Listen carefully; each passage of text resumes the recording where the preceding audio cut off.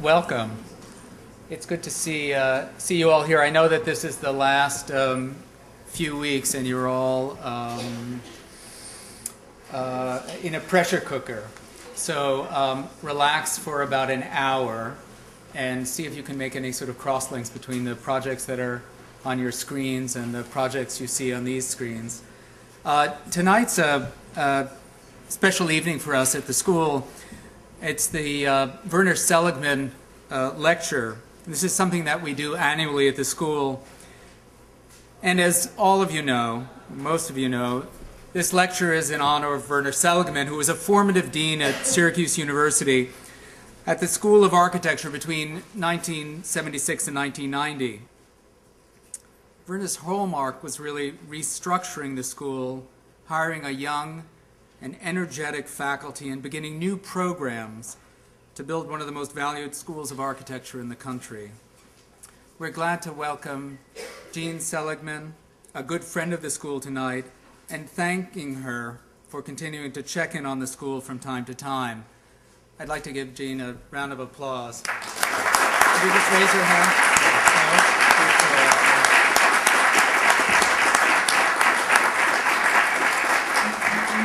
I'd also like to recognize uh, Werner's uh, colleagues and friends who are also in the audience tonight. Um, Jerry Wells, I'm glad that you were able to come. Jan, thank you very much. Um, this lecture is a way for us to focus on the profound work in architecture as it's currently produced, and we welcome Craig Dykers in that role. But we also welcome him as the first studio critic in Syracuse Architecture, New York City a program begun this year to tap into the excep exceptional cultural and built context of New York City. The topic that uh, Craig chose was vertical vacancy. And this project looked at the pre-existing conditions in the towers of lower Manhattan. Now, we usually think about open space in a horizontal or suburban setting, open lots, isolated parcels, or infill. Instead, this vacancy is, occurs in the midst of apparent density. It's often literally in between the valuable commercial street frontage and the more valuable views of the upper floors of lower Manhattan. And the students were asked to reprogram this marginal property. They showed compelling studies and variations this past week in a review in New York, and the proposals uh, varied from activating the space to employing strategies like business incubation, settlements for new immigrants, tourism, using farming, slow food, strategies we often associate with smaller cities like Syracuse or post-industrial areas like Red Hook. But as with art, even the way the project was framed, the way the problem was suggested, allows us to look at things that we think we know and understand them in different ways to separate the fantasy or the myth of a place from the realities of the way they function. The firm of Snøhetta presented their work in 2000 at Archilab, which is a, a collection of architects that are brought together in Orléans in France. And the title of this Archilab was Radical Experiments in Global Architecture.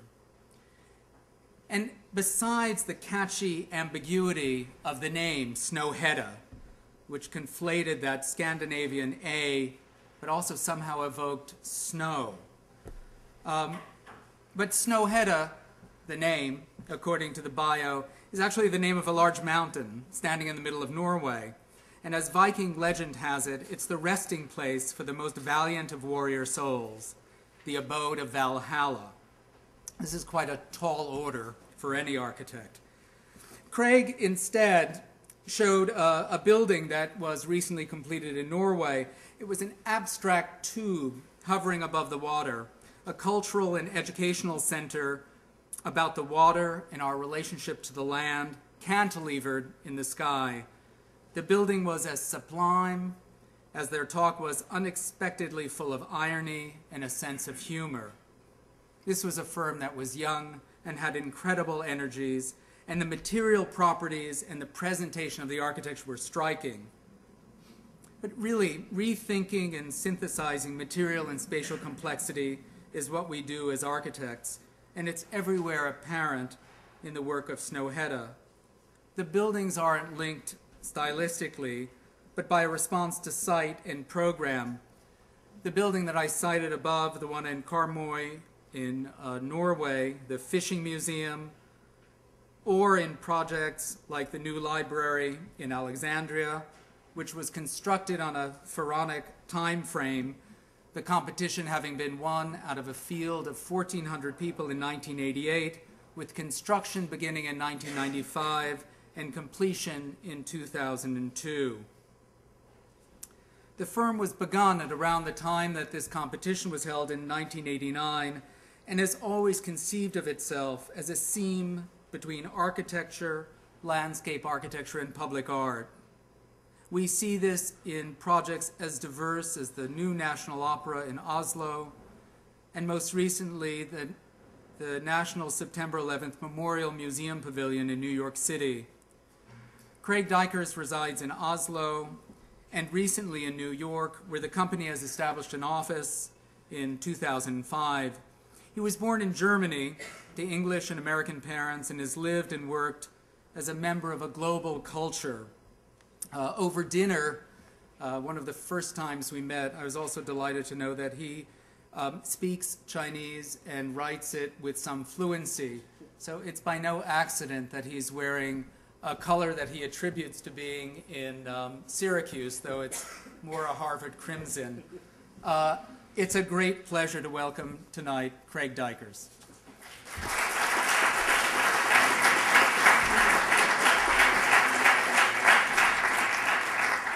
Thank you.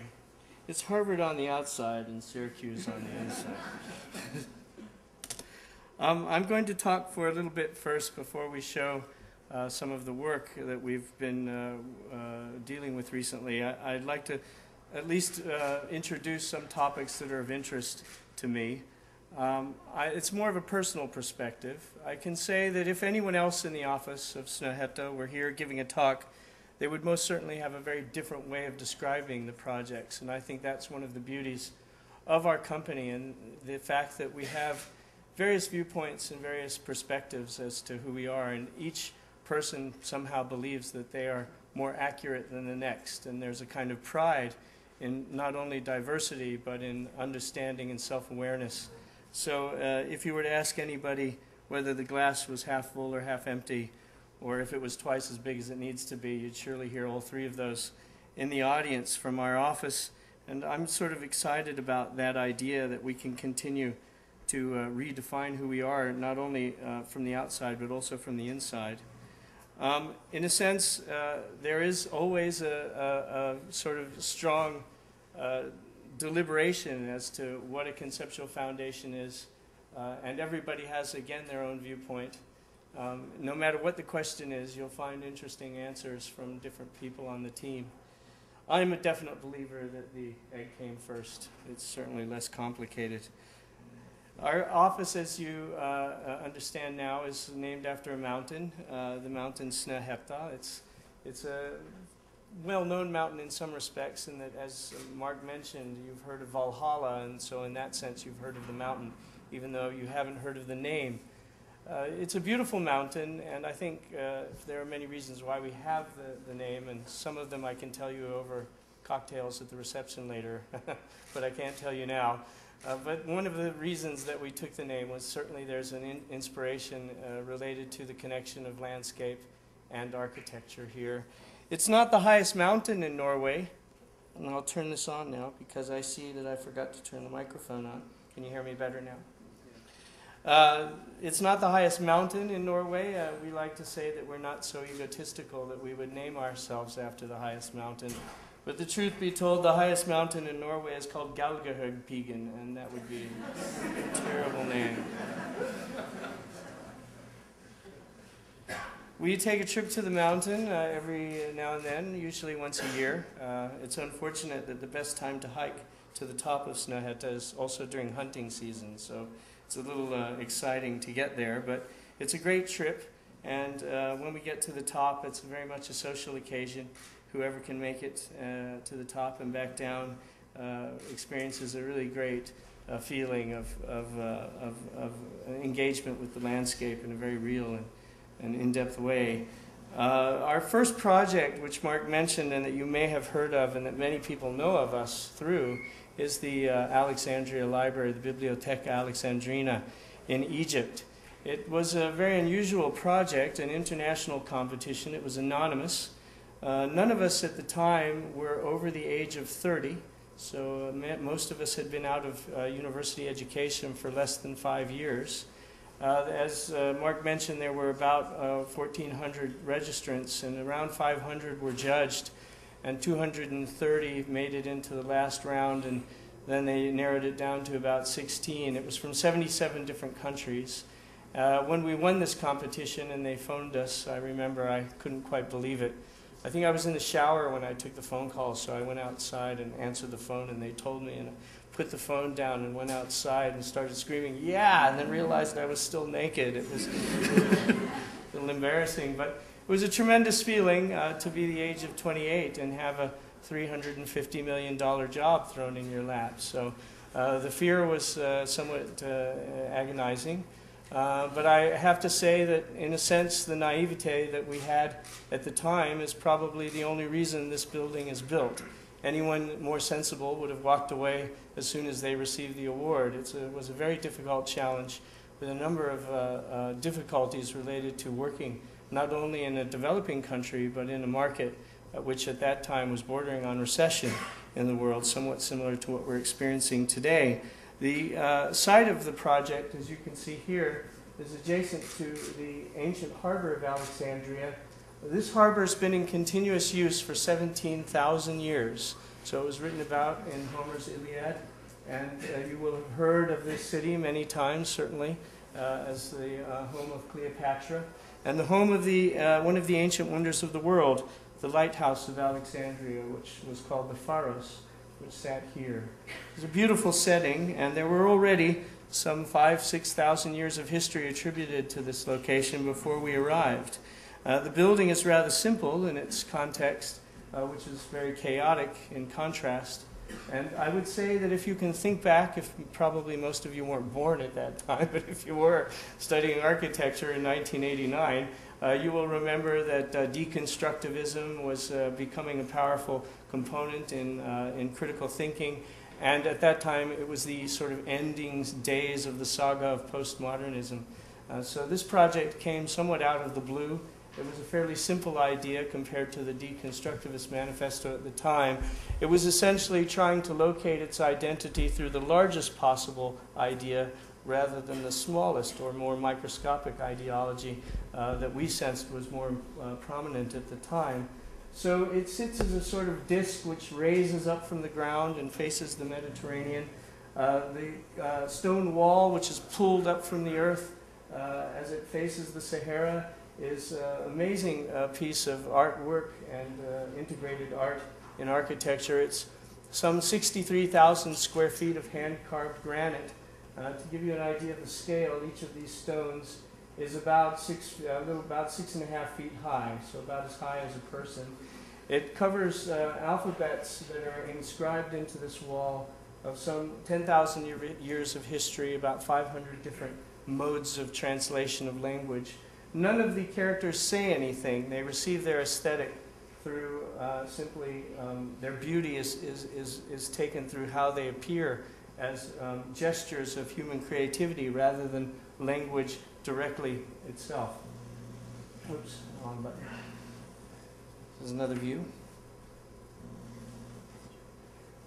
The main facade of the building is actually the roof. So the fifth facade, we call it, uh, faces the Mediterranean. And in contrast to the rather archaic stone that you saw uh, in the last few slides, this is a very what you could call high technology facade. As high tech as it is, it was built entirely by hand in Egypt. So these are honeycomb aluminum panels, which ordinarily are made in factories in, in uh, first world countries. Instead, all the components were brought to Egypt separately and put together there. So the honeycomb was actually made through a sort of hand press, uh, which was really astonishing to see.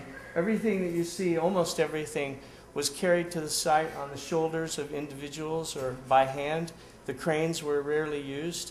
Very little electric uh, uh, machinery or, or power tools were used.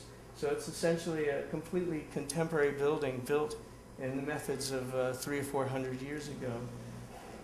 As the building rises, it slices through the context of the city and, uh, in, in a sense, creates a kind of gap into the uh, uh, shoreline of the Mediterranean. Alexandria is a wonderful city, really. It's about four and a half million people officially. Uh, that being said, uh, there are about seven million people that actually live there. And when you look into the faces of an Alexandrian, you really sense this history of, of centuries and millennia that have passed through time. You can see Nubian faces, Arabic faces, European faces, Armenian, Asian faces. It's all there, and I really had a fantastic time in this city experiencing it through the eyes of history. Uh, the main room of the library is rather astonishing. It uh, seats about 3,500 people. It's the largest reading room in the world. This picture was taken before construction was finished. They hadn't yet placed the books in the room. But uh, to give you an idea of the scale of this room, it's about three times the volume of the main space in Grand Central Station in New York City. Uh, these columns that you're seeing here are about 60 feet high. Uh, and uh, the room itself, despite its scale and size, feels rather intimate because of the modulation of this structural system and the natural light that penetrates uh, through the roof. You're able to really feel that you're in a smaller space. Also, when you enter the room, you enter onto this balcony first, so you're able to see the entire collection all at once. And that's a very important feature in a library, especially one like this that houses up to 5 million volumes of books. So in, you avoid the kind of problem that you ordinarily have in academic buildings or especially library buildings where when you want to find something you have to ask for directions and everybody says, well, take that elevator by the toilet to the third floor, walk down the corridor, turn left and say, where the hell am I? And you're probably at the book you're looking for. So there's a great sense of uh, ability to navigate such a large building and I think that empowers people in a very serious and, and intimate way. Um, let's see. Is a view from the lowest terrace of the reading room, looking up to the uh, to the top of the building.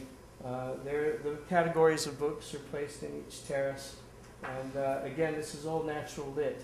And these are solid glass blocks that are about six inches thick, so that when you're sitting in the room, because much of this room is actually underground, but because of these uh, natural light sources above, the light passes through these colored um, sort of veins.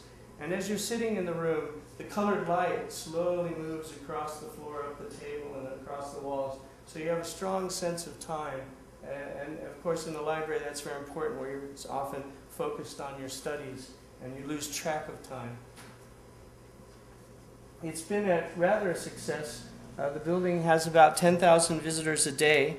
Uh, and that's been uh, rather constant since about 2002. It's open to men and women equally. Uh, it sets many standards for the region. It's the first building in the Eastern Mediterranean to be fully handicapped accessible. Uh, in 1990, when we started designing this building, the notion of sustainability was not at all common. In fact, rarely did people speak when they were showing a deconstructivist design did they talk about sustainability. So in this particular project, it can run for um, two months without any power. Uh, there's a natural convection that works in this space using a, a, heat chimney that's created by the shape of the room. It's naturally lit and uh, rather astonishing how cool it can actually be on a hot Egyptian day without any ventilation. And that was done, of course, not because we chose to, but understanding the environment at that time in Egypt, the electric grid used to often uh, uh, implode more or less, and you would have you would have to work without electricity for long periods of time.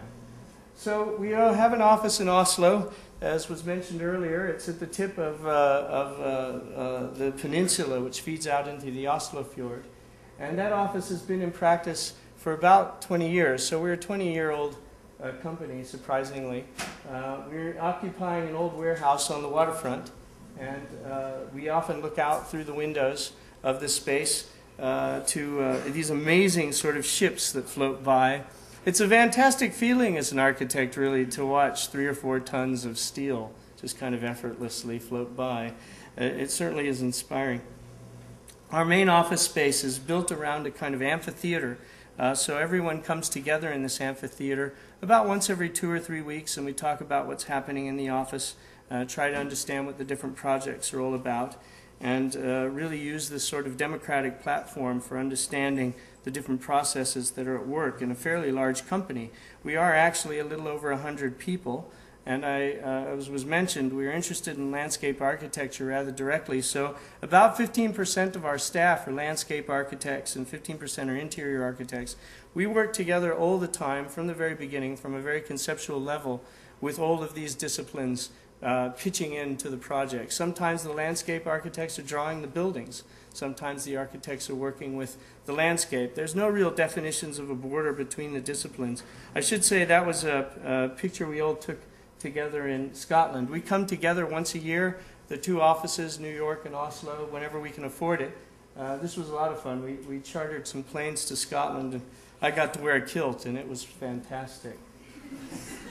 I highly recommend it, especially commando style. It's very good. Uh, we are coming from many different countries. I think actually now we're about 15 different countries. These are some of the people in our office. We're fairly young. So despite the fact that we have a rather large portfolio, most of us are, are rather young. Let's see. That's my partner and I, my dog. One of the things that's interesting about our office is that we are actually unionized internally. So all of our staff have created a union. They elect a representative that stands for two years. So all of the salaries are negotiated by the union uh, on behalf of the staff. And in that sense, there's total economic transparency in the company. We've set up a kind of salary ladder based on years of experience. Uh, there are some possibilities to increase that according to your education or what licenses you have.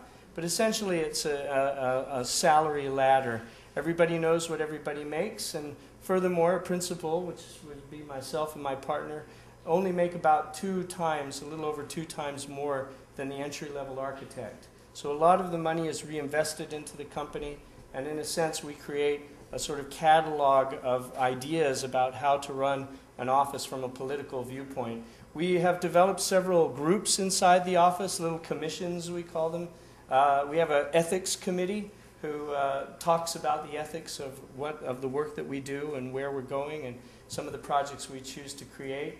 Uh, this is an interesting ongoing discussion. A creativity committee that talks about our modes or methods of understanding how to create projects and conceptualize them. And furthermore, we have a rather liberal system of holidays. So we have uh, the national holidays, and we have five weeks of vacation. Uh, so I think total there's around 35, 36 holidays. And I, I say this because I think it's important in architecture to understand what it is that our practices constitute. So often we have political viewpoints that we portray to the rest of the world, but we don't incorporate them into our own practice. And in our case, we're trying to do that in a very deliberate way. Our office has a very sort of unusual setup both offices in Oslo and New York, are sort of designed in that everyone is situated in one half of the room, very tightly placed together, and the other part of the office is left more or less open with a kind of communal table. So this is our main drawing space. Everyone has the same equipment, the same furniture. There are no private offices. There's no glassed-in spaces. And we all have to move back and forth between projects. The projects are not distributed by studio form. Everyone is sitting almost randomly in the space so that if you have to talk to someone else that's on your team, you have to walk past other people that are working on other projects. So it, it, it, it, feels very much like a studio. Whereas the main open space uh, allows for the kind of messiness of creativity to occur, a kind of social atmosphere, communal atmosphere uh, that is hard to develop in such a space as this. And we have a model shop. We work quite a lot with uh, all different types of models, not only uh, technologically empowered model making, but we work a lot with our hands. And we haven't given up the fact that we still have senses in our fingers, which is nice. Unusually, all that time had passed. We, we worked with the uh, uh, Alexandria Library for some 12, 13 years. The, the Berlin Wall fell. Uh, the World Trade Center towers were attacked. All of this occurred during the period of time that we were working with the Alexandria Library. After the uh, strangeness of the September 11th attacks, uh, we were invited to New York City to participate in the competition for one of the projects at Ground Zero, or the memorial site. And we opened up a new office in New York, which amazingly, uh, and these are almost at the same scale, uh, in a very similar location in both uh, places. Even so far as the fact that this is the old fish market here, and that's the old fish market in, in New York City. So I think we must have an affinity for stinky old fish markets. Which of this is the picture of the old fish market in, in New York before it closed. Uh, we started off in a very small way in New York City. It was really working out of our kitchen of the, uh, of the apartment that we were renting as I was traveling back and forth to Oslo about once a week. Our new office, though, which is more, uh, more solid and more stationary, is down in 25 Broadway, the old Cunard building. You might notice this bull, uh, which is uh, just behind is our office space. Uh, mo- most of you at least know this bull. If you don't recognize it from that angle, this angle is more common in the newspapers these days. The space is rather incredible. It's uh, uh, built, built in 1925 and virtually empty. So we're sitting in one of these unoccupied spaces that uh, was discussed earlier. Uh, the ceilings of the adjacent halls next to our office are about 60 feet high. They're all hand painted. Really something exceptional and literally sitting empty today. Uh, the space is set up in very much a deliberate uh, style, as similar to to uh, the Oslo office, a sort of common table and a, and a, drawing studio pictured around it. We work a lot with our clients. Uh, we tend to develop our projects in a collaborative nature, uh, and this is meeting uh, together with our project clients in Ohio.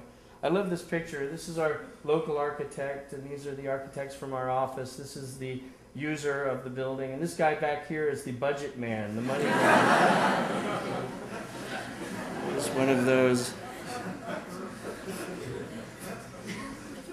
We're very interested in context, and I would say that context is probably one of the more uh, uh, linear themes in our work. Sometimes we call it simply conditions, the conditions within which we work context is a kind of loaded term, so perhaps conditions is a more easily modifiable word that allows us to discuss who we are, why we do what we do, uh, in, in, in a way, what is the motivation, whether, whether it be involuntary or voluntary, uh, toward creating something, creating anything from a teacup to a building. As human beings, we occupy a rather unusual uh, uh, sort of organism. Uh, our, our lives and our, are, are dominated by the affectations of our form as human beings. Our minds are certainly something that we cannot avoid in terms of uh, what they represent as an aspect of, of ideo- ideology. There, there is a, uh, I believe, in, inside of us, centuries of, of development, of evolutionary development, uh, for many hundreds of thousands of years, we lived as hunters and gatherers. And this kind of living is a very different kind of living than we have today. Today, we are more or less domesticated. So, for the past 30, 40, 50,000 years, we have domesticated ourselves, much in the same way as we've domesticated other animals. And inside of our minds, I believe that there is this sort of polar, rather duality discussion about the linkage between our need for intuition and the need for uh, uh, domesticity, for order, the difference between chaos and order.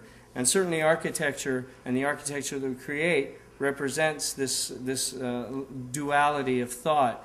I think all of us experience this. I mean, if we have, if our lives are too organized or too well ordered, uh, we sort of go crazy and have a party or do something uh, sort of that we can't control. If our lives are too chaotic and, and too difficult to understand, we'll grab onto something that we can define and say we know what this is, whether it's family or home or any other source of, of familiarity. And, and our buildings and the way we create buildings moves back and forth between these worlds, and I like to think that somehow we can express that in, in our work. Uh, we've learned to domesticate our architecture as well as we've learned to domesticate the nature or uh, undisciplined uh, surroundings uh, that we face as uh, dwellers on this planet. It's interesting when landscape or nature begins to take on its own meaning, we were sort of frightened of it. This is a picture of a, a high rise building in West Africa. We were doing a project in Guinea, and this uh, was uh, built. Uh, unfortunately, by the, a German company who didn't realize they didn't have any electricity in this town. The city is Conakry. If you ever have the chance to go there, it's the capital of Guinea.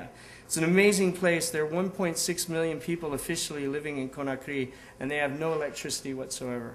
So it's a bit like going to uh, ancient Rome.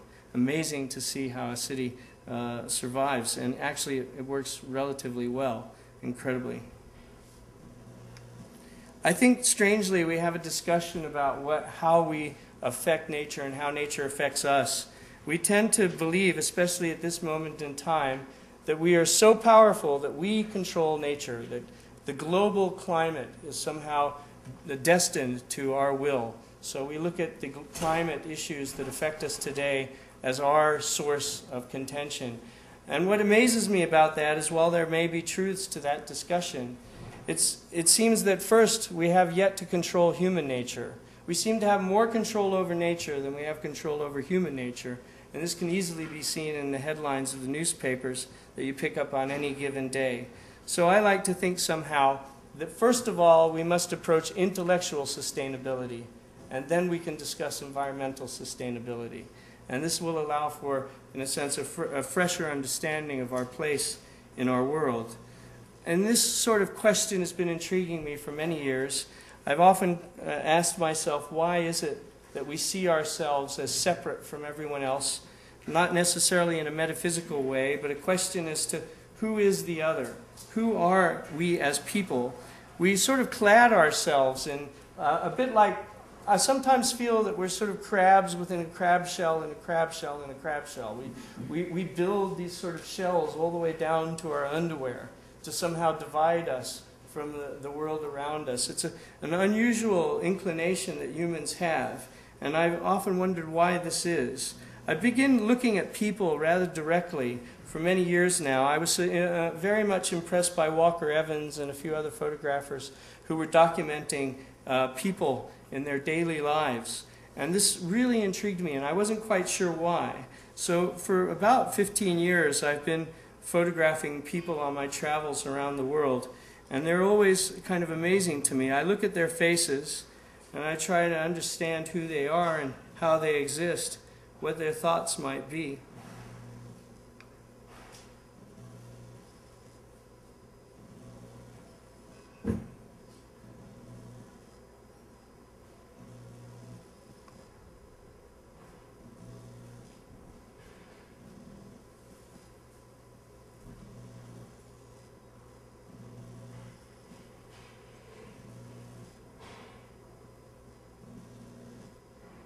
One time I read a quote uh, by Wim Wenders about the, the sort of captivating, captivating sensation that one sometimes feels when looking at other people. And I began to realize that when I was in school, I was taught in a way that buildings are real and people are abstractions. That you focus as a, as a student on creating a kind of reality about these, these structures that you're, you're posed to create. And somehow the people that inhabit them are either secondary or simply seen as fuel to create the architecture. I've been trying to reverse that in my mind by, through these photographs or other kinds of things, looking at people in a very direct way, reading their thoughts. So, to me, in a certain sense, I believe that the people are not the abstractions, the buildings are. And it's a different frame of reference in approaching uh, an architectural solution. I think that inside of us, we're captivated by so many things that we dare or rarely discuss. Our desire to own the things that we create, our desire to take ownership over the landscape, to necessitate predictability ahead of intuition, to follow our instincts. And of course, what do our instincts mean? One of the most fundamental instincts is surely sex, and we rarely discuss that in terms of architecture. That's a good thing to get really crazy otherwise. But in any sense, there is an aspect to who we are and why we make things that I feel is very much underneath a very thin, almost superficial surface of, of, of a very deeply rooted theoretical approach to architecture. I think it's very difficult to approach architecture from a total standpoint of certainty. I believe that doubt is one of the most powerful tools we have. It's not a weakness. And in some way, when we approach a conceptual development, doubt can form it in a, in a very uh, uh, serious and, and coordinated uh, sensibility, I suppose.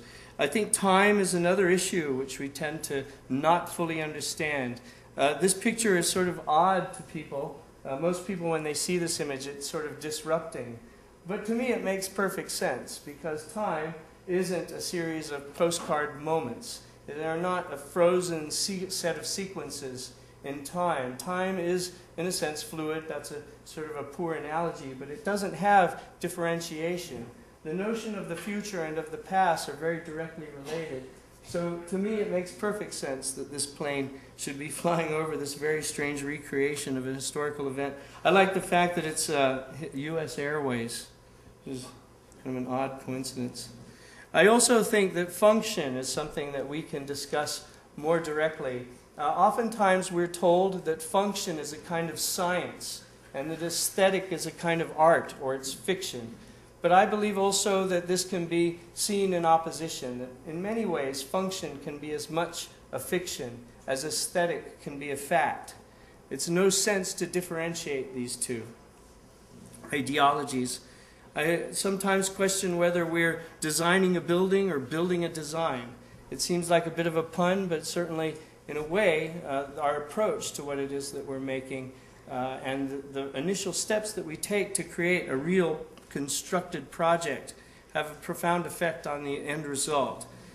In a sense, this is all talking about a kind of a story, a sort of narrative of thoughts that lead to uh, uh, an ideology of, uh, uh, of, of buildings and, and, and their context. I'm not afraid to talk about narrative, and I think that narrative is perhaps one of the more powerful tools that we have as an architect. I love this expression. It came to me just the other day. This is only a two week old one. In a sense, all the narratives that we create uh, build up an idea that actually affects our minds. Uh, the stories that we draw on are uh, as deeply rooted as our evolutionary history, millions of years old. I think that, in, in a sense, we as architects need to look at the narrative of our work as much as the graphic potential that they often proclaim. And with that, I think I'm going to just take a very short two minute break because that was a long introduction and I'll show you some projects. So, two minute break, stretch and get some water or something. I'm going to get some water. That's the end of the introduction. Can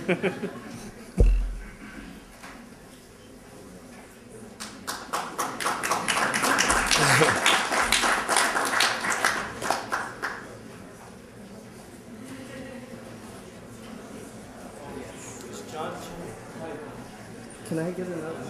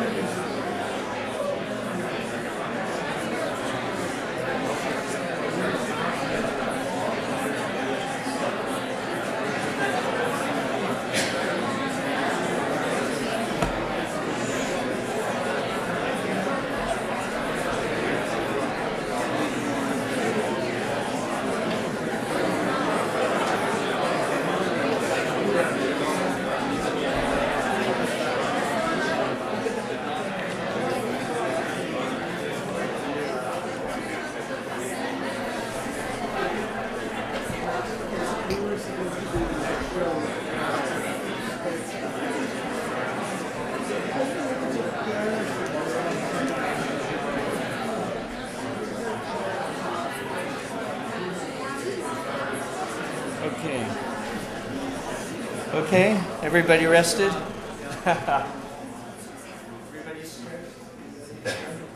we shall complete this uh, talk with some actual projects. So I promise to show you some actual projects.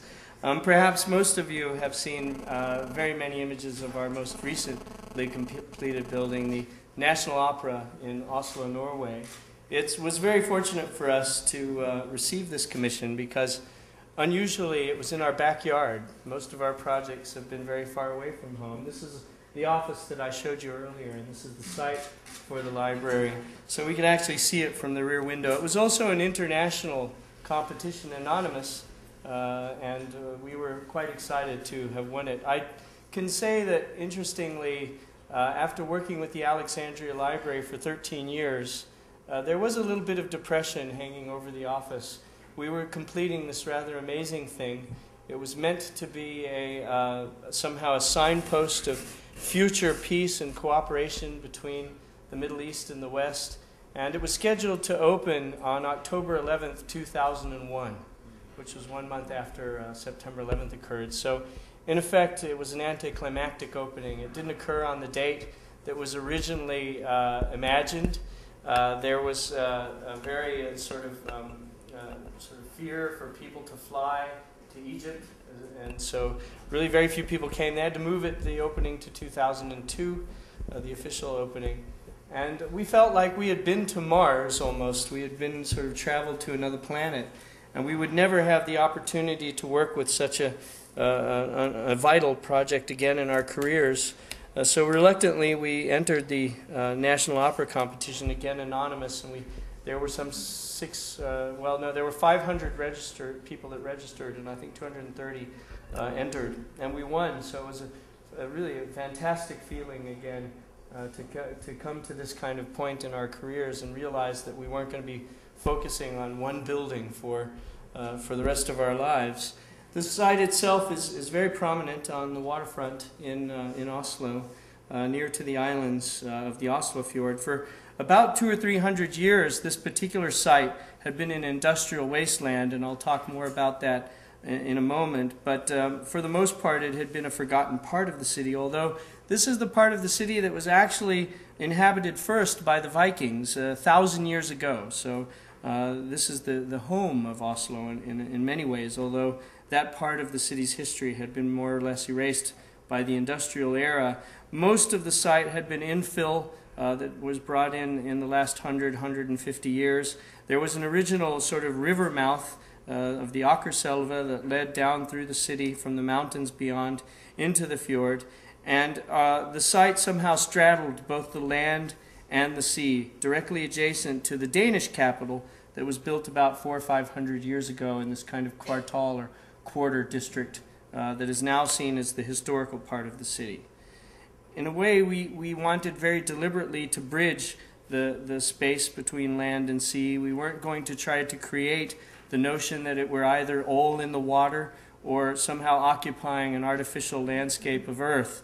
We wanted the building to, to uh, uh, uh, demonstrate the, the actual conditions of this place before we arrived.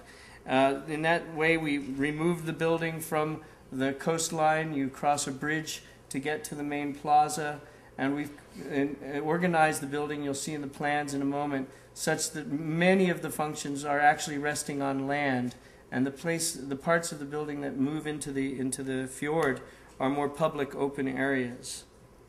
Uh, the building is rather simply uh, uh, uh organized. I think you can see uh, the fact that there it's it's very simply in a way striated. It's very difficult to make a plan for an opera simple. If any of you have ever worked on such a, a building type, it is one of the most complex building types. There are 650 people that work here 24 hours a day, th- three um, uh, venues, a 1,300 seat uh, opera ballet, a 400 seat uh, contemporary theater, and a 250 seat experimental theater, plus all kinds of other venues for informal uh, performances that can occur in and around the building. And I like to think that in some way the, the plan is extremely dumb. And to make something that simple with such a complicated program is the real challenge when creating a theater. The circulation is very direct. There's a rather impressive corridor that goes north-south that's about 300 feet long that connects all of the workshops to the stages, and all of the stages are in turn connected to a lobby that um, passes also north-south uh, along the entranceway. The building is extremely low, and in fact, that was one of the reasons that I think we won the competition. It's very common when you're given the, the, the project or, or the commission to create a theater, especially an opera, an architect is inclined toward very dramatic iconography. I think somehow you're expected to pull open the book of, of, of uh, sort of enlightenment and, and cre- find the most astonishing thing and then make it. Uh, we were trying to do the opposite. We were trying to push the building down so that it were out of the view, the main views of the city, so that the building itself became a link between the city center and the nearby hills and domestic areas growing towards the east. So the final section, which I rather like these two pictures, you can see uh, it emerging from the fjord, sort of cracking open at the lobby, uh, lifting up this new sculptural form that allows the opera uh, to exist beneath, in this case the opera, and the stage tower just kind of poking through, and all of the workshops kind of bleeding out uh, with a totally different iconography towards uh, the river uh, tor- uh, at the east of the building. So it's a very powerful kind of idea to allow the, and this is unusual also in operas, allow the back of house administrative areas to be very simple, almost a factory or a machine for work. We didn't pull the sculptural identity over that part of the building. We let it be what it wanted to be. And whenever it was um, somehow needing to push or pull, it did that on its own accord. In contrast to that, the public areas of the building, in some ways, the public demands a sculptural identity. Most people don't actually go to the opera, but they want an opera in their town. It's a part of the city of the imagination, in a sense. Uh, it's something that people like to understand that they have, even if they rarely go there. They also like to think that that part of the opera that they want to look at and to see can give something back to them as a citizen of their community. So, putting these two things together, it's as if two different architects were working together. The back of house areas having a rationale which is clear and distinct, and the front of house, the public areas, having this almost intuitive characteristic. In a sense, it talks in very much about the same ideology we were discussing before about the, the links between intuitive and, and domestic thought. The, the uh, original sketches, these are from the competition, show an extension of the landscape. Although these hills are about a kilometer away, uh, the hills connect to the building and link it directly into the fjord. It introduced the building a natural um, valley geometry that had been there in, uh, in a thousand years ago when the, when the city was first founded. And of course, it being a Norwegian national opera, it somehow had to relate to the identity, whether it be fictitious or not, of the country. And the fact is that Norway is a rather exception, it is exceptionally beautiful country, and the landscape can be very powerful. And much of Norway is covered by mountainous terrain and uh, rather rugged landscape. So the building, uh, in, in a sense, while not recreating it, Im- intimates these sorts of feelings that one has in the landscape in the surroundings uh, uh, uh outside of the cities. Uh, the fjord occasionally freezes. And when it freezes, actually the ice in the spring during the thaw gets pushed up this ramp, and so you get a sort of new ice sculpture uh, whenever that occurs. Um, the, the ramping of this uh, sort of public face of the building was designed over a very long period of time to somehow move from the top down to the fjord and back again. The stone was actually quarried in Italy and um, factoried in China and then brought back to Norway for um, carving. It's um, Carrara marble.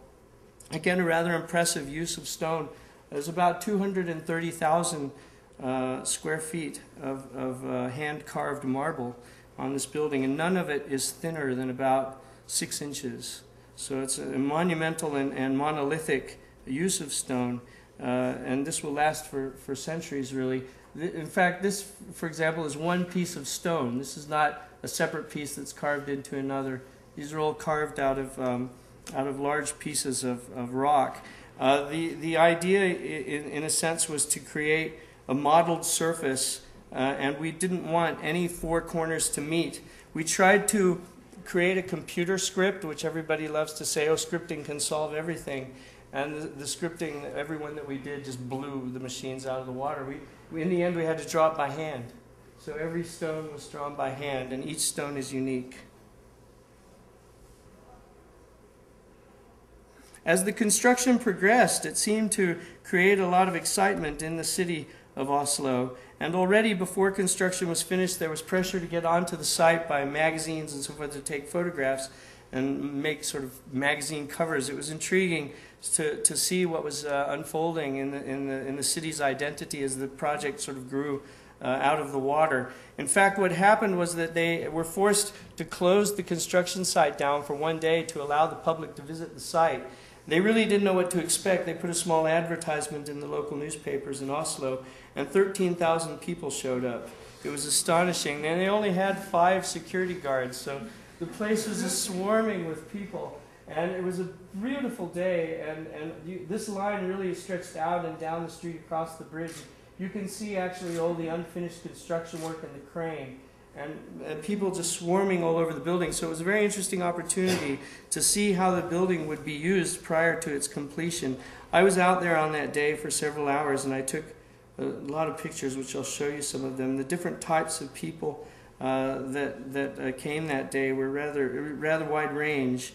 Um, interestingly, uh, I would say that what we had hoped to happen did seem to occur, and that was that we weren't trying to build a sculptural monument in the, in the style of, of operas and, and public architecture of the past.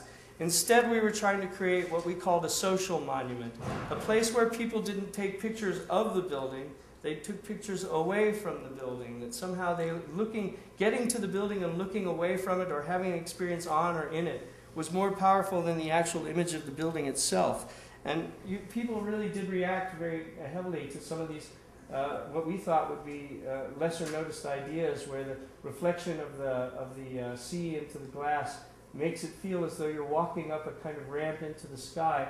As you ramp up from the fjord, you turn around 180 degrees, have a last view of the city, and then you move over to this ramp, and from that ramp, suddenly the city disappears because the actual roof of the opera is not flat, it's kind of bowed.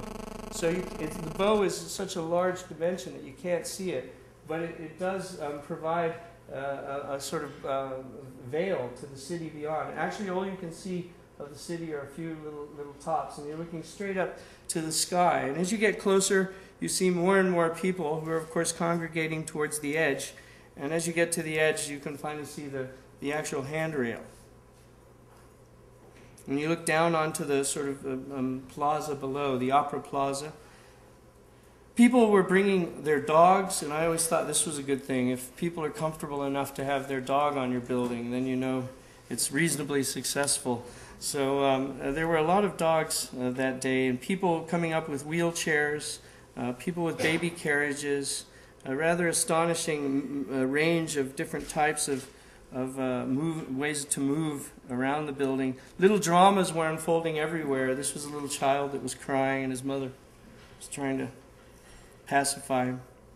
And then you come down the other side. So this is on the other side of the stage tower, and you move back into the city, back towards the bottom. And as you move towards the fjord, uh, you begin to become aware of the lobby space that is inside adjacent to the main hall. And you see other, uh, this guy was strange. He walked all the way from Syracuse, I'm certain of that, to get to this building. And uh, the feeling of, of, of uh, once again reaching the water and, and turning around, uh, uh, a lot of this has to do with how the body moves. And you can just see it in, in, in the ways in which people are physically reacting to the space and, and realizing different perspectives and different contexts of nature uh, that sort of connects them to this place. And this was an old couple. I actually followed them all the way to the top, and they walked back down and sat on this pile of unset stone.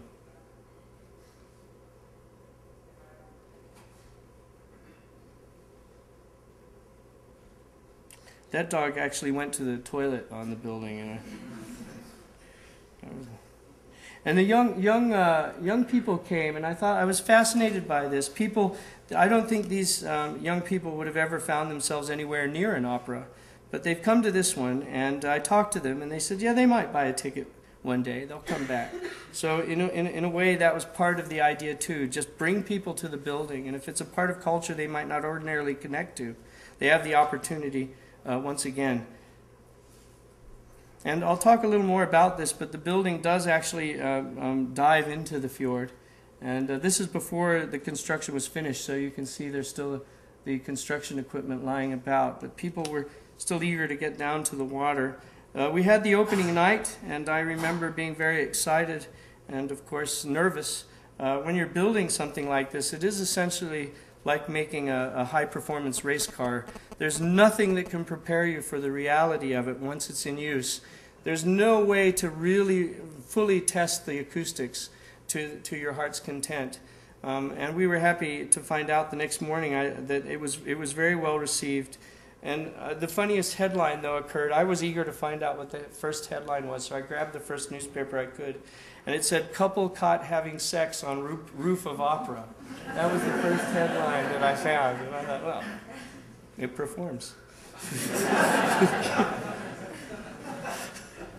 they were politely asked to leave, apparently. But uh, this is the day after the opening, so construction is fully completed. Uh, you can see we've used granite as it goes into the water, and uh, up above is, is the marble that leads you towards the top of the building. The actual um, process is very intriguing. You cross the bridge uh, over the small canal. You have one last view of the only sort of vertical surface of the building towards the public, and you approach the entrance, and there is this rather astonishing sort of plane that just slices across your perspective. And everyone almost feels as though they're standing on an unsteady surface. But at the same time, it feels very steady by the sheer volume and mass of the stone.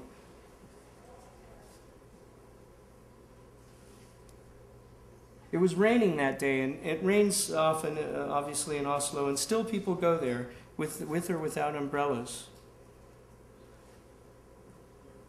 There's actually a way to get down. There's a small stairs so that when the water rises, you can launch a kayak or any other sort of uh, recreational leisure boats and so forth from the from the opera. It's also very interesting to be here when it's quiet on a very cold day when there's just one or two people.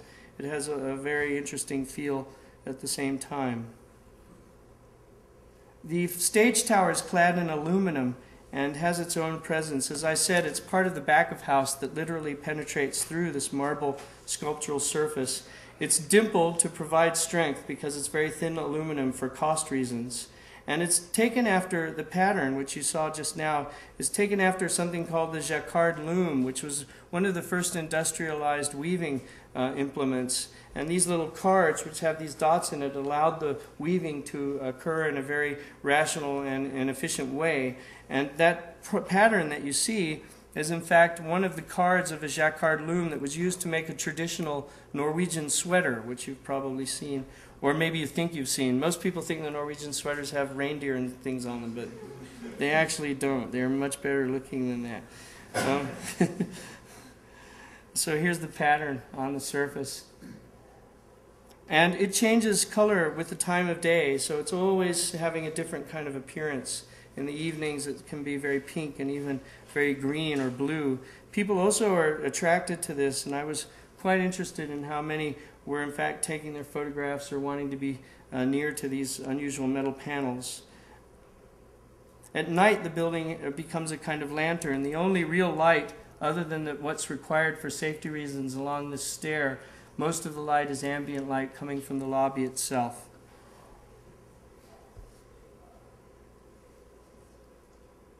As you enter the building, you come through a very small sort of threshold in a kind of crevasse through the stone, and you enter into the main lobby space, which, as I say, is about 300 feet long, has a connection to the various public theaters. It's divided by a threshold of oak, which is a kind of wall that de- delineates where the coastline actually was under the building, and that became the threshold between the lobbies and the theaters. It's funny, this was a sketch we made early on, and you may think it's just goofy, but in fact it's not. It's a very serious drawing. um, the, uh, one of the things you'll recognize here is that there are no lights or kinds of things up there in the ceiling. That's not because we hadn't finished the drawing or didn't know what the layout was. It was in fact because we didn't want anything in the ceiling. And you'll see in the in the pictures of the lobby that all the lights and all the, the registers and all the all the things that one normally finds in the ceiling are absolutely pushed to the side and invisible.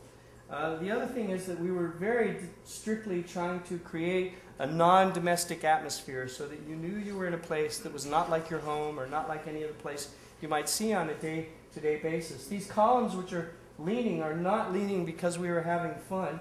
The real reason that they lean is because the pile foundations, remember this is over the water, over salt water. So there's a, a, a foundation grid which has its own rationale that is completely different than the grid of the ceiling structure above.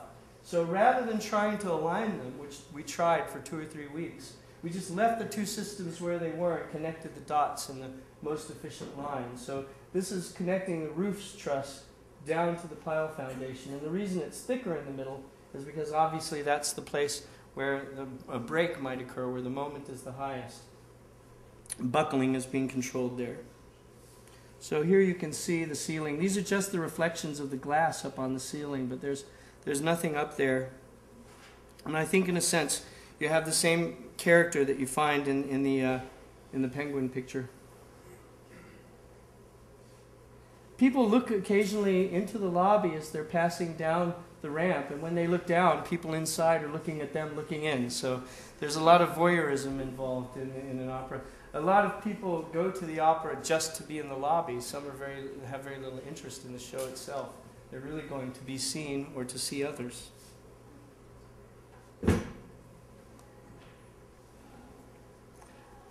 We've designed the furniture in the main auditorium and main lobby areas.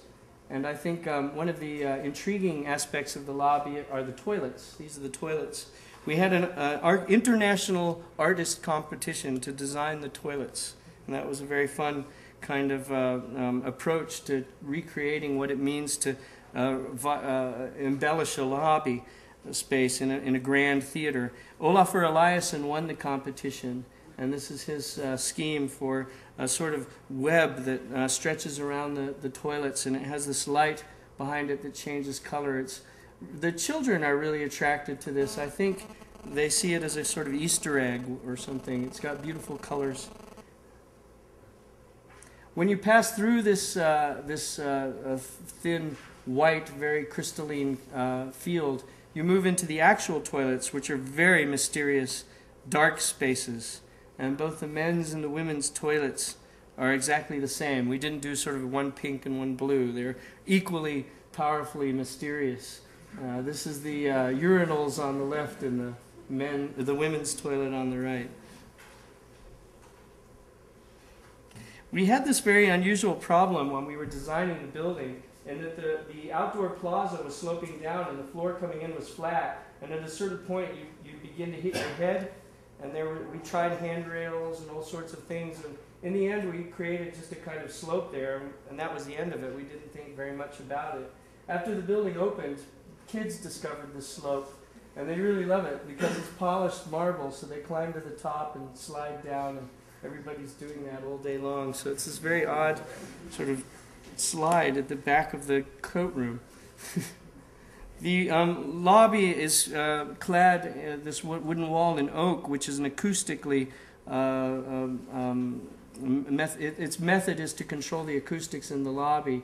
It's very important that the individual pieces, these slats of oak, be randomly displaced across the facade. And we tried again to create a scripting pattern. It didn't work. Then we went to the um, builder, uh, the, the contractor, and said, Can you just make it random for us? And he said, No, we don't do random. That's your job. Uh, so, uh, so we went back to the office and we were trying to make uh, it as, as, as good as we could. And then someone said, interestingly, that they had a child who was in a school for uh, mentally challenged uh, um, students, and um, we took it to them. And actually, they did it. It was fantastic. The, the school, cre- we gave them all the wood parts and these different panels, and they made the panels in the school, and they were brought to the to the site and uh, and put in place. Many of them were. Um, so it came from a different direction than we originally imagined. The materials are very primitive. Uh, they, where there's wood, there's wood, and that's it. Where there's glass, there's glass. Uh, this is leading up to the different galleries of the, uh, of the uh, uh, opera room itself. And as you uh, come to the balconies themselves, you have glimpses out to the fjords. This is the, the elevator, which I find one of the young people in the office did this. It reminded me a bit of a science fiction movie or something. The main hall is a very classical horseshoe shape. Um, we were very much inspired by uh, instruments and how they're created as resonance chambers and the solidity of the wood and uh, that creates an instrument. So much of the main hall is created literally out of wood only. So these are monolithic pieces of wood that have been carved or um, um, routed out in a sense and pieced together. So there's no actual steel in the room anywhere that can be seen. Something happened there. So uh, this is the um, balcony front, and the only steel that you can find is the uh, um, uh, production lighting rail that goes along the outside.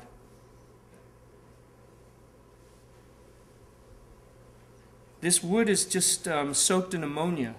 There's no actual stain on it. It was soaked in ammonia for about a month, and that's what gives it this um, intensity. You can scratch it, and it'll be the same color inside. The uh, top of the room is an amazing chandelier which weighs about six tons. And it also acts as an acoustic baffle in the space. It's uh, a crystal, um, sort of linear crystal elements with um, low voltage lights behind. Here's a detail of one of the elements sitting uh, seen from the highest gallery. And the stage curtain is really exceptional. Uh, the stage curtain itself, of which this is a detail of, believe it or not, this is absolutely flat. There's nothing three-dimensional about this. It's no thicker than the screen, this, this projection screen. And, and, and another amazing thing about it is that there's not a single thread of silver color in this tapestry. So all the silver that you see is made by the mixing of other colors. So uh, here's a sort of give you an idea of scale. This is one of the architect's kids playing on the stage with the stage curtain behind. And there's a detail of it. This is probably life size, so this is about life size. You can see all the different threads in this tapestry coming together and giving the illusion of three dimensionality. It was it was uh, put to, uh, created by an artist named Pae White in uh, in uh, California.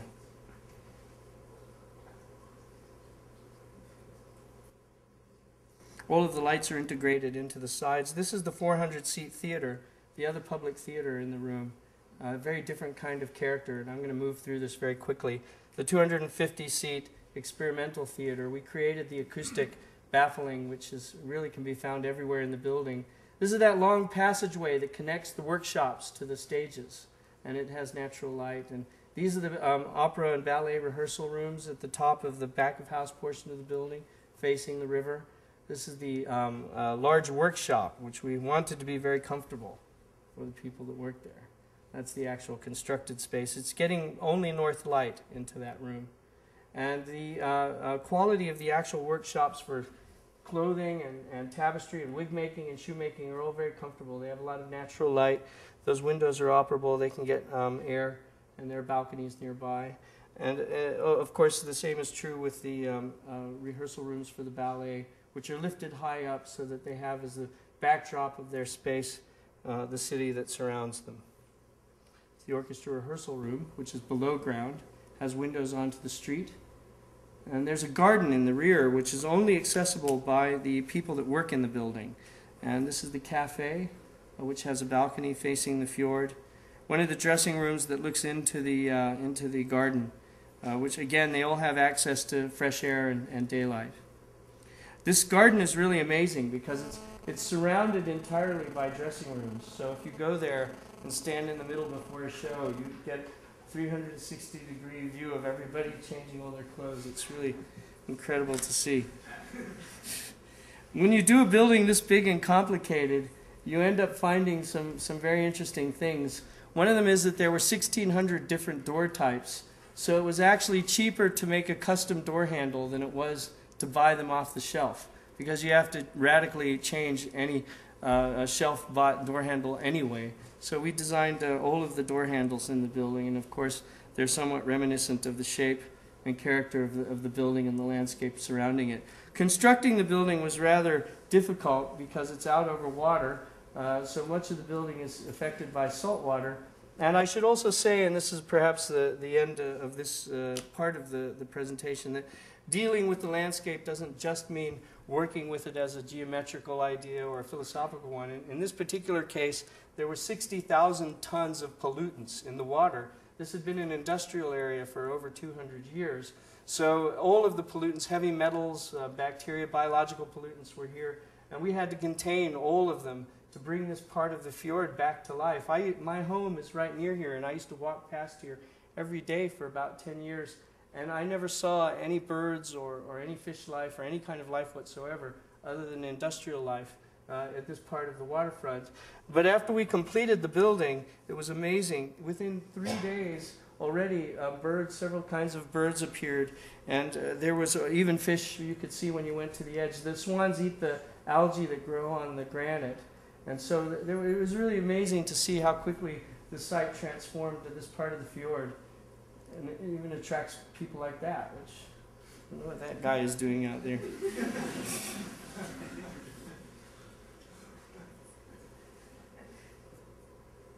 the line is rather beautiful, this kind of soft line that's always changing, and then it hits this polished piece of marble. This is the only piece of marble that makes it down into the fjord.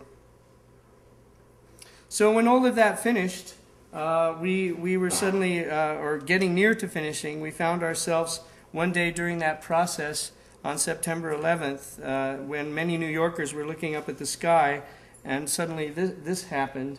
And it was, of course, an enormous tragedy. Uh, all of us have a story of where we were or what we were doing on the 11th of September. Uh, many New Yorkers, of course, have tremendous stories of drama and tribulation uh, and how they were affected by that day. I strangely was on an airplane on September 11th, 2001, landing at JFK at 9 o'clock in the morning. So my plane never landed at JFK. It made a very large turn, and I remember looking out the window and seeing the World Trade Center towers smoking. And it was the strangest thing. I could not understand why they were, why they were on fire. And the plane landed in Canada. I was one of those people that went to Canada and I was with, uh, I guess, some 8,000 other, other passengers in Gander, Newfoundland, in a town which only has about 10,000 people. It was an amazing experience. I really like to say that we experienced on that day the best and the worst of human nature. And I, I, I just remember how friendly people were and how accommodating everybody was. And I, I slipped on a sort of Baptist church pew, which uh, was a little unfortunate because Baptist churches are made to be very acoustic, so the snoring in there was just astonishing. But um, I, I, I, remember leaving uh, the, the, the church one day and going to the local bar because everybody was, of course, interested in having a drink. They were nervous. And there, the bar was absolutely stuffed with people. And I had my drink like this, and there was an elderly couple in front of me. And I said, Are you a passenger? And they said, no, we live here. And the bar was not very nice. It was kind of a ratty bar. And I said, Do you often come to this bar? And they said, No, we just heard there were 8,000 new people in town and we wanted to meet some of them. it was an amazing feeling. And while all of that was going on, of course, in New York City, it was an enormous drama uh, taking place. People were giving up their lives, and there was both good and bad sides of people coming out. Uh, they cleaned up the site very quickly, in an, an astonishing pace, actually. Uh, the cleanup was, was really through within about six to eight months. And in a sense, that went so fast that people have now questioned uh, what has happened since. Um, of course, the ramifications of that event we still live with today. The wars and political sagas that were somehow threaded back to that particular day and the days before that day are, uh, are affecting our lives quite profoundly at the moment. Uh, the the idea that somehow we could memorialize the site is an interesting question and one that we thought we wouldn't be involved in. We had turned down several offers actually to participate in the rebuilding at Ground Zero, thinking that New Yorkers were best uh, to solve this problem themselves. But eventually we were talked into it, and somehow we won a competition. It's a strange uh, uh sort of location for a building. We are actually the smallest building uh, surrounded by giants, really, so to speak.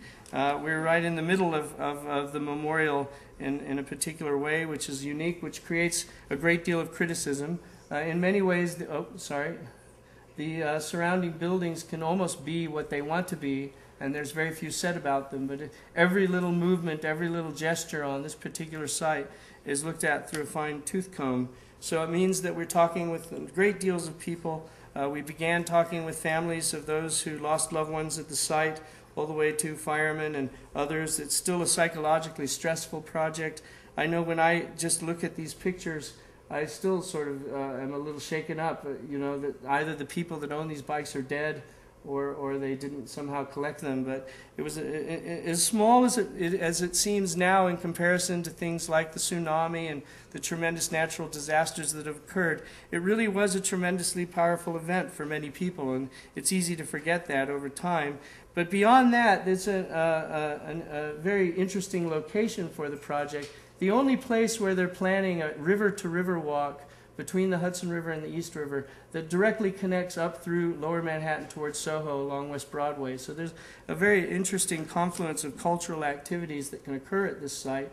Daniel Libeskind made the first master plan, and this was the location for our building as it was proposed. Immediately adjacent to the, uh, well, actually, this is not the first proposal, this is about the third or fourth, but nevertheless, based on the first proposal, immediately adjacent to the um, memorial sort of pools or voids uh, that show the footprints of the, of the um, now vanished towers we were interested in creating what we called a master section rather than a master plan.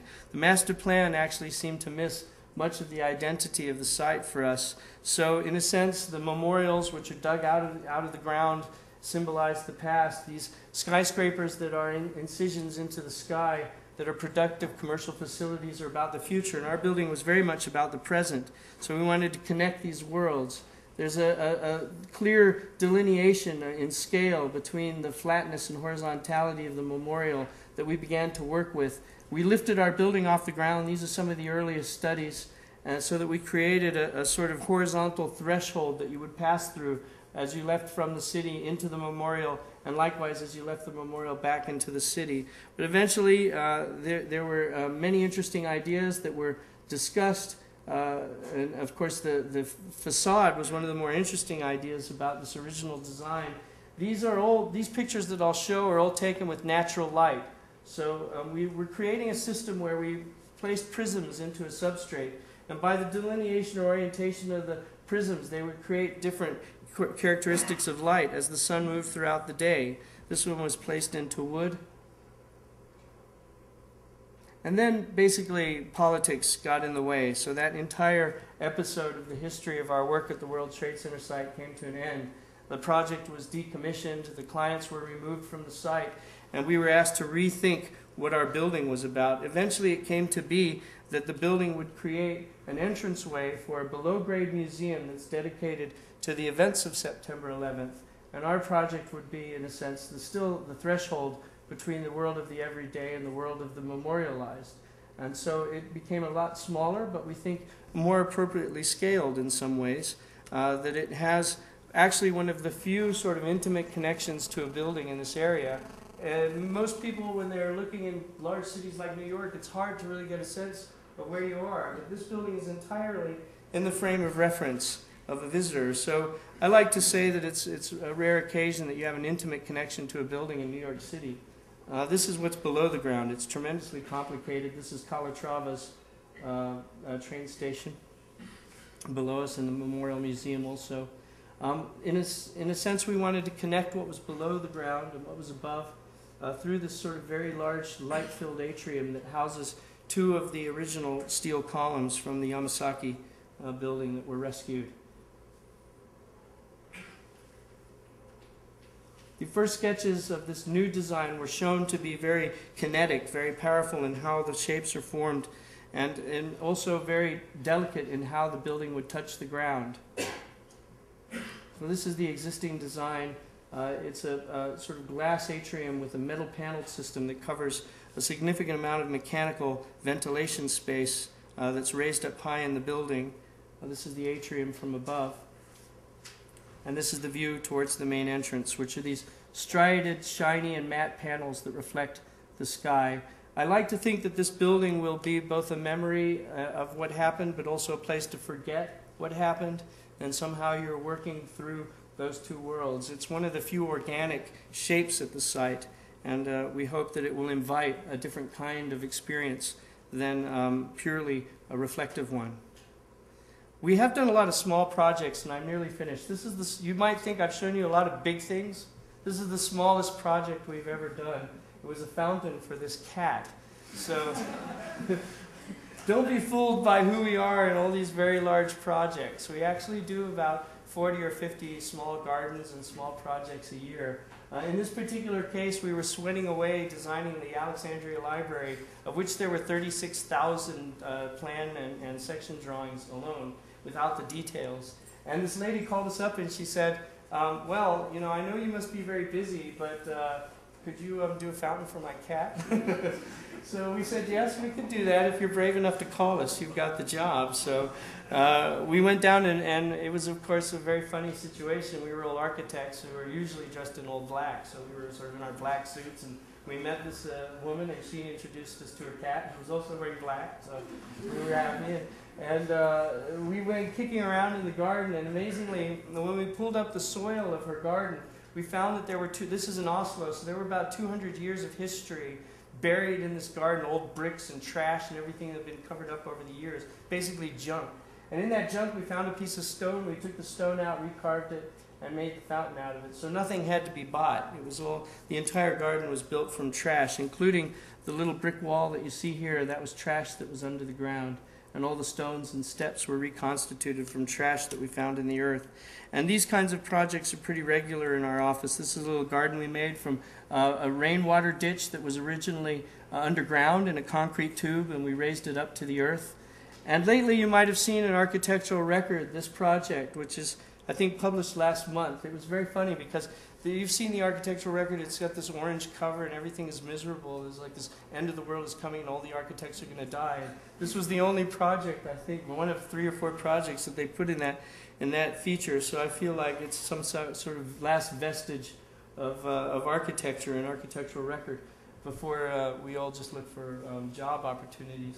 Uh, but in any sense, uh, this project is quite far north, and it's uh, it's dedicated to a minister who was very well known, Petter Dass, a very important minister in Norway. To give you an indication of how far north this project is, uh, it's up north of the Arctic Circle, so north of, of Iceland and somewhere up uh, in the northern parts of, of Greenland in terms of context. New York would be somewhere way over here in terms of southern latitudes. So it's it's very very remote. This is a picture of the site where the minister once um, uh, preached. It has a quite beautiful character, and they asked us to put a visitor center there.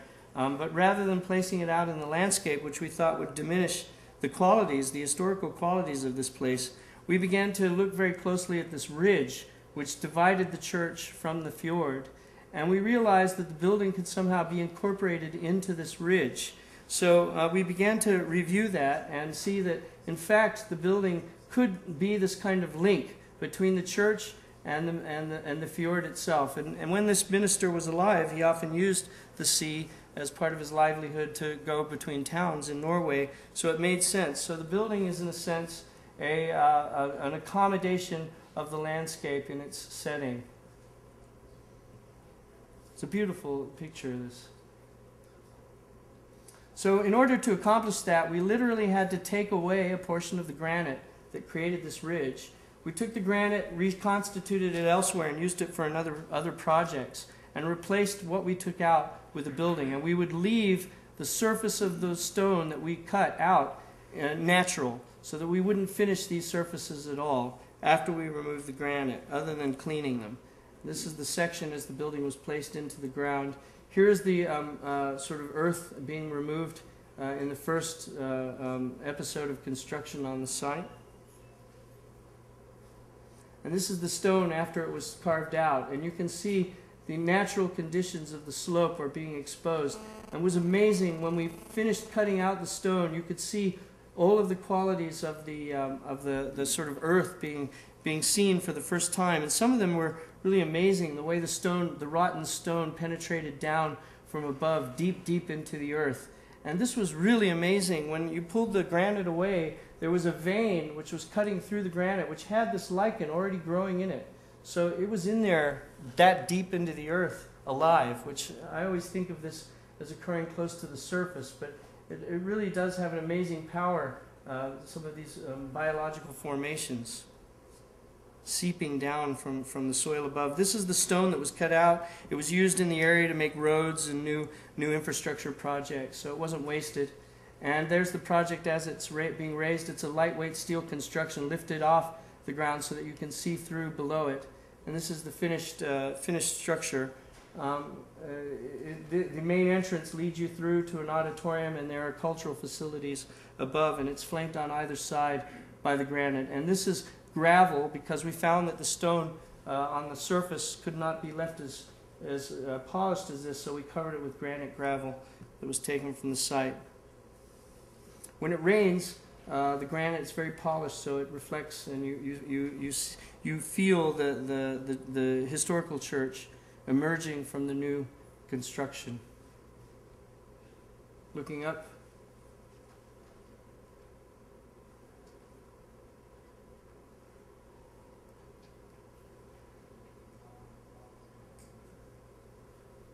and when it snows, it's this amazing sort of thin coat of ice across the roof. Oops, don't know what that is. It's amazing that it's so invisible in this location. It's very hard to see, despite it being very large. So there's a sort of a cruciform effect that occurs from the horizontality of the of the uh, new building and the verticality of the old. It's not necessarily apparent, but you do uh, feel it a bit when you're there. It leaps out over the side of the rocks and looks out over the, the salt water uh, in, a, in a quite unique way, very similar to some of the older buildings here. There it is there.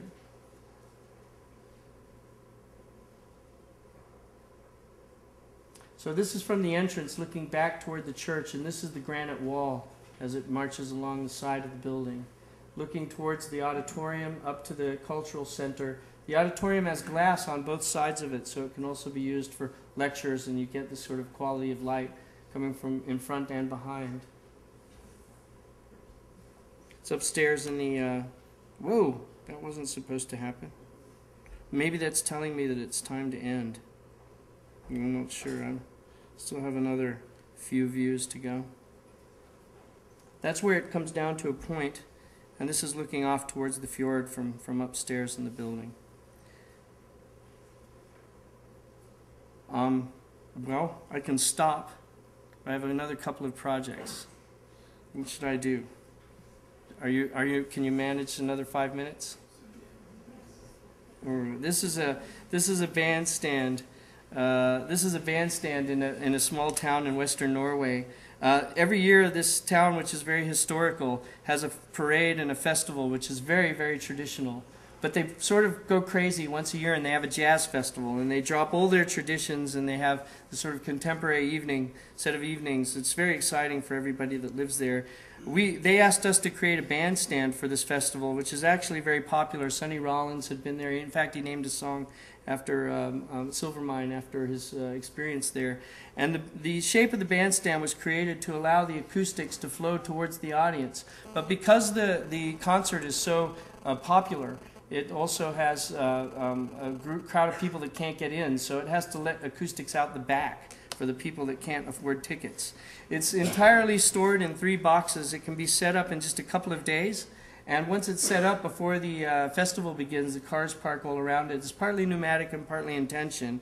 And it's very, very easy to assemble in many ways. And then the festival begins. And over time, about four or five days, it starts to acquire a new kind of life as the festival grows and things become more exciting and more, more well attended. So by the time uh, it reaches its crescendo, they're lighting the, the thing up in all kinds of ways. And you can see back through the sort of oculus to the sky beyond and uh, it gives you some really unusual colors. You you do sense a change in color. You know, the sky. This is the same sky, um, but it feels lighter because of the frame of the oculus as you look through it. Yeah. I won't talk about that because this is our biggest project we're doing in Saudi Arabia. That's for another lecture. We've got a few projects in the United States. This is a little barbecue pit in Dallas, Texas. So we do still small things in a very low income area of Dallas. We turned a billboard inside out to make this uh, kind of project. We're making a small theater in Brooklyn. Uh, it's for a, a dance troupe uh, or a, a performance group called Slam, who do these amazing things. They have this old building, and they asked us to make transparent building, but we said don't use glass because if you use glass, it's going to look like this. So this is what we gave them. This is the transparent building they asked for. Um, our first sketch, anyway, it lifts up like this on counterweights. So you walk through a sort of entire brick wall.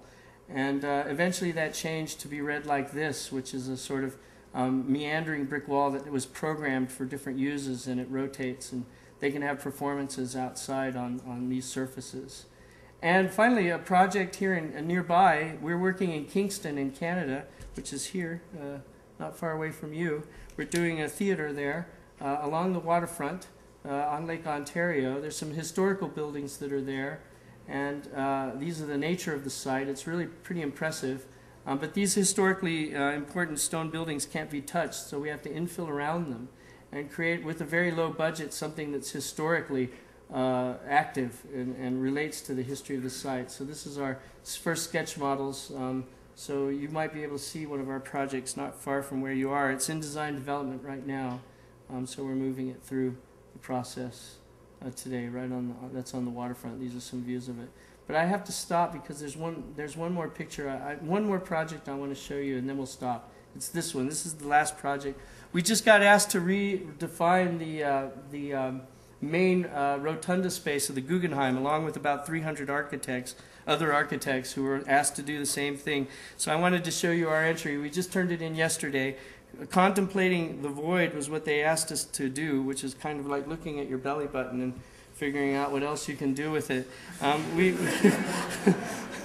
we, we began by uh, questioning whether or not the, the, the question was appropriate. So rather than messing with this, which we think works pretty well, we, we recognize that actually um, there are two voids that any visitor must experience when they go to the Guggenheim the void of the interior of the space, but also the void of Central Park and how one uh, experiences that place and, and, and how one is attracted to that place in a very similar way as a spatial commodity within the city as it is the rotunda within the Guggenheim itself. So our proposal was pretty simple. What we did was we flattened out the Guggenheim ramp. We made it into one sort of long ramp, and we placed it outside on the sidewalk along Fifth Avenue with the rail facing Central Park.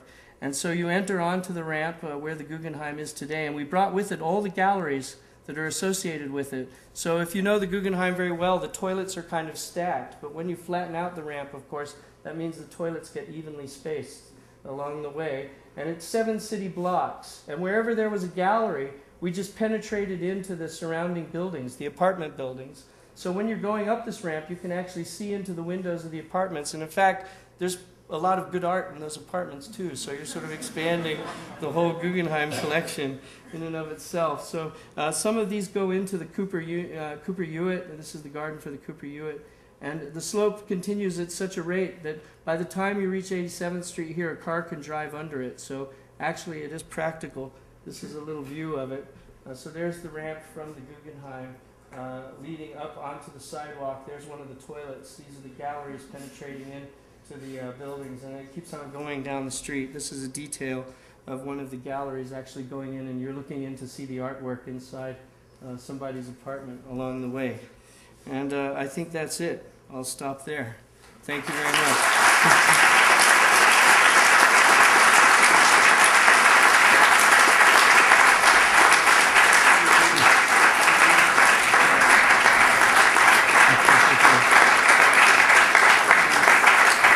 So if- if you have questions for Craig, uh, you can ask him over a glass of wine at the lecture reception here in the atrium. Thank you.